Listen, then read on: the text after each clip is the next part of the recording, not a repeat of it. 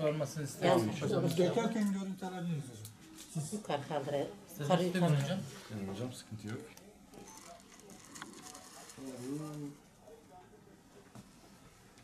Ben de dağıtayım hocam.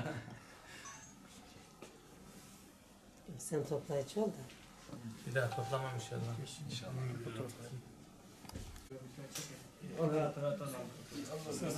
nedeni Niğde'de e, ilk defa yapılan stakon taş, taş dediğimiz yani e, tüm böbreği neredeyse kaplayan bir hastamızın ameliyatını kapalı olarak ilk defa gerçekleştirerek hastamızı e, sağlığına kavuşturduk ama hastamızın çok farklı özellikleri var.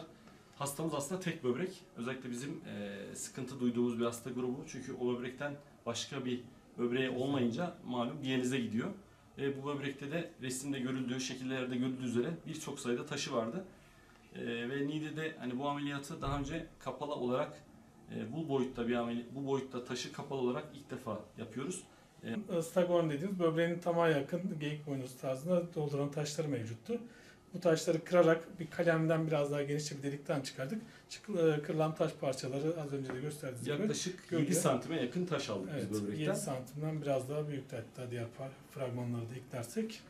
Hastamız ameliyatının dördüncü günü şu an evine gidebilecek duruma gelmiş şu halde. Ee, birkaç gün içerisinde normal hayatına dönebilecek durumda. Başhekimimizin de bahsettiği gibi bu hastamızın bir özelliği de diğer böbreği çalışmıyor durumdaydı. Bu taşlar bu halde kaldığında böbreği çürüttüğünde e, taş ameliyatı olsa bile artık diyalizlik halde kalacaktı. O yüzden tedavisi hızlı hareket edilmesi gerekiyordu. Ee, Biz de artık bu tür tedavileri burada yapabilir hale geldik. Böbrek sıkıntım dolayısıyla geldim. Ve, e, beni sevk edecek başka hocalar ve e, onlar tercih etmek buna yönlendirdiler. Ben de kendisine şu anda teşekkür ediyorum. Ayağıma da e, kaldırdı beni için benim.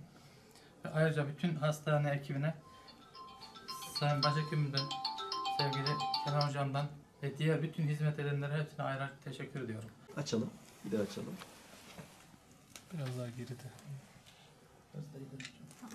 Bakın şu kadarcık bir delikten yaptık bu ameliyat. Bir taş. Sol böbreği çürüten taşları da burada.